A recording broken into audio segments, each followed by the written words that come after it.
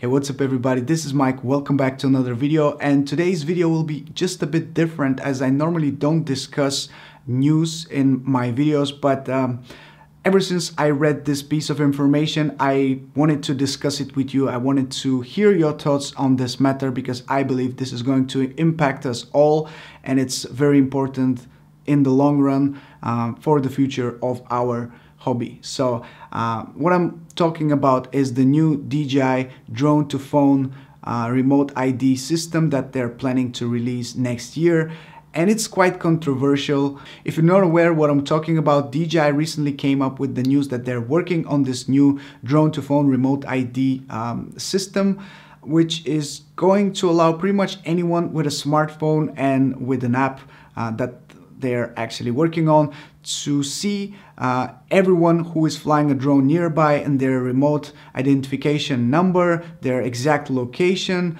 uh, and more information about the drone itself. So before we go any further with this video, I want to read a couple of paragraphs from their official news article on their website, which says, DJI's remote identification solution developed in collaboration with industry stakeholders and regulators broadcasts information from drones directly to off-the-shelf mobile phones using existing Wi-Fi protocols. Using a simple app, anyone within radio range of the drone can receive that signal and learn the location, altitude, speed and direction of the drone, as well as an identification number for the drone and the location of the pilot. Remote ID functions as an electronic license plate for drones, allowing anyone who is curious about a drone in the sky to learn more about what it's doing. Around the world, aviation authorities have said remote ID is the key to allowing more complex drone use and to solving concerns about safety and security. As more drones take to the skies every day,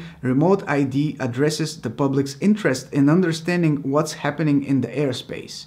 DJI's drone to phone implementation helps accomplish that by allowing drone pilots to broadcast a simple description of their flights so anyone viewing the smartphone app can understand that they are inspecting a roof, surveying a construction site or performing another beneficial task with a drone. So that's pretty much a simple description of the new service which they're working on and I'll link the full article in the description below if you want to read it for yourself uh, but I believe this is quite controversial. I do believe DJI is trying hard to build this new service as a way to respond to security concerns and as a way to, to allow people who are not flying to to be more at ease when there are drones around them but for us as drone pilots i think this is quite controversial once again for starters, the simple fact that anyone who has this app will be able to know your exact location as well as the drone's exact location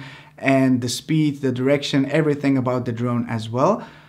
Uh, it's, it's quite scary to, to think about it.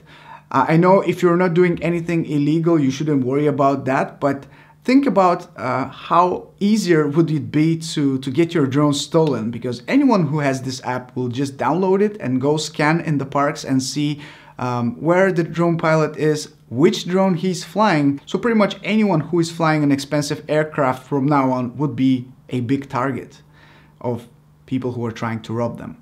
And I think that's a big deal. I think this is a big concern that many of us have already. Think about all of your neighbors or just the people around you who are against flying a drone and who are always complaining about the noise that you're making, uh, the fact that you might be filming them, that you're flying over their, uh, their houses. Think about that for a second and the amount of information that they will be able to get about you and your aircraft without you even realizing that fact and think about how much problems there will be in neighborhoods from now on uh, from people who uh, are going to download this app simply because they want to complain to authorities about illegal drone flying. I think these are all valid points and are going to be uh, happening all the time from now on as soon as this app launches. So I'm a bit skeptical about this whole new um, phone remote to phone ID feature. As a matter of fact, I asked you guys yesterday, what do you think about this uh, remote ID uh, feature? And there was one comment which was exactly my thoughts. So I want to read that very quickly. It's from Chris Beige and it says, I would have no problem with law enforcement having access to this. The big issue would be members of the public and their ability to get key details about what I'm doing without my knowledge or permission. That is a massive step too far, would put me off the hobby entirely. A comparison, I'm not a dog person. Other people's dogs often bark constantly when I go to the beach. Sometimes they jump up on me and I find them far more intrusive than drones. However, should I have the automatic right to get the dog owner's details and intentions without asking them so that I can report them to the authorities for being a nuisance? Most people would say no. And don't even get me started about how mobile phones cameras have the potential to invade privacy far more than drones. Perhaps when anyone turns their camera on, everyone nearby should get a notification telling them who it is and where they are. The drone witch hunt continues. I believe Chris is very right uh, with his opinion on this matter, as I think this might be a step too far, invading a little bit of our privacy and raising a lot of concerns about the future of our hobby. I think this is going to put a lot of people off uh, in regards to flying their drones. And if you know that pretty much anyone who has this app can monitor you and the drone, then uh, it just changes things in my opinion.